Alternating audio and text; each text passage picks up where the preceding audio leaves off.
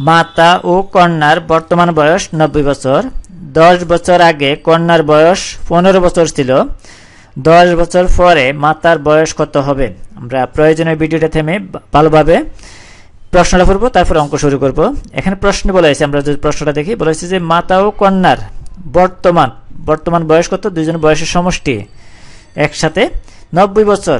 এই নব্বই বছর। বলা হয়েছে যে দশ বছর আগে মানে দশ বছর পূর্বে, এই কন্যার বয়স, দুইজনের বয়সের মধ্যে কন্যার বয়স হলো কত? পনেরো বছর, কম ছিল ওই সময়। তাহলে এখন কত হবে? আর দশ যোগ করলেই তার বর্তমান বয়স পাওয়া যাবে। তাহলে এই দশ বছর আগে কন্যার বয়স ছিল পনেরো বছর, এটার সাথে দশ যোগ করলে আমরা পাওয়া যাবে কি? বর্তমান বয়স।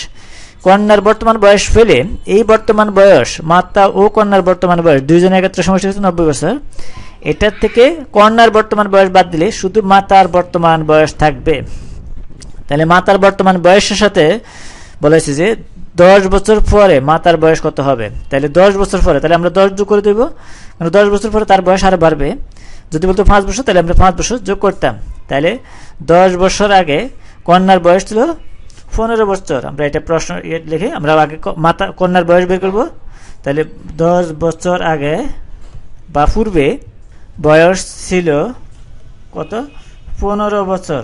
এই পনেরো বছর যেটা প্রশ্ন দেওয়া আছে তাহলে দশ বছর পরে কন্যার বয়স কত হবে? বর্তমান বয়স হয়ে যাবে।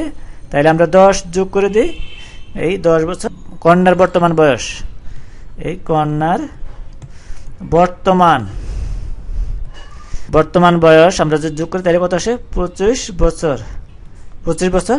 তাহলে কন্যার বর্তমান বয়স পেয়ে গেছি। তাহলে মাতা ও কন্যার বর্তমান বয়স দুইজনের একসাথে নব্বই বছর। তাহলে আমরা লিখি, মাতা ও কন এই কন্যার বর্তমান বয়স কত এই নব্বই বছর। নব্বই বছর। তাহলে কন্যার বর্তমান বয়স আমরা জানি। আমরা এটা বের করে বলছি। তাহলে কন্যার বর্তমান বয়স কত? পঁচিশ বছর। তাহলে দুইজনের বয়সের সমষ্টি হচ্ছে নব্বই বছর। তাহলে একজনের বয়স হচ্ছে পঁচিশ বছর। তাহলে ওইটার থেকে আমরা যদি বিয়ে করি তাহলে আমরা পেয়ে যাব মাতার বর্তমান বয়স। তাহলে আমরা লিখি এই মাতার বর্তমান বয়স। মাতার বর্তমান বয়স কত? বিয়োগ করলে আসে পাঁচ, তারপর আসে এই এক আর তিন, ছয়। এত বছর। তাহলে মাতার বর্তমান বয়স পেয়েছি আমরা দশ বছর, এ, পঁয়ষট্টি বছর।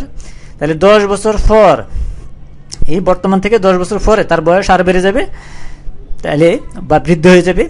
তাহলে তার বয়স কত হবে? তাহলে এই দশ বছর আমরা যোগ করে দেব।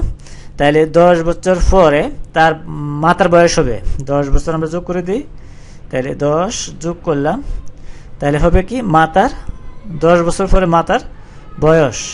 তাহলে দশ বছর পর আমরা যেটা বের করতে বলেছি এটা বলব দশ বছর পরে মাতার বয়স। মাতার বয়স সমান আসবে। আমরা যোগ করি তাহলে পাঁচ এর শূন্য যোগ করলে কত আসে? পাঁচ। তারপরে হচ্ছে ছয় এর একে সাত। পঁচাত্তর বছর। পঁচাত্তর বছর। তাহলে এটা আমাদের উত্তর। কেননা এই দশ বছর পরে মাতার বয়স কত? তাহলে এই দশ বছর পর মাতার বয়স হচ্ছে পঁচাত্তর বছর হবে।